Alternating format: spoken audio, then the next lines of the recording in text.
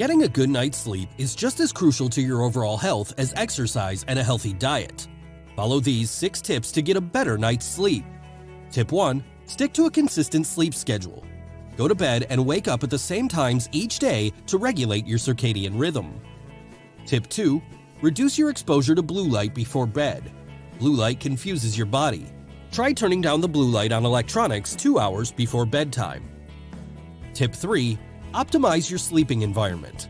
Make your room ideal for sleeping by minimizing light exposure, having comfortable bedding, a comfortable sleeping temperature, and turning off the TV. Tip 4 Exercise daily. Regular exercise has been shown to cut the time it takes to fall asleep in half. Tip 5 Avoid caffeine after 3 p.m.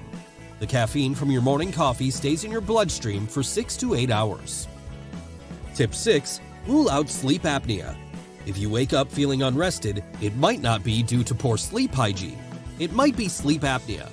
Look for symptoms like loud snoring, choking, and coughing during the night, and daytime irritability.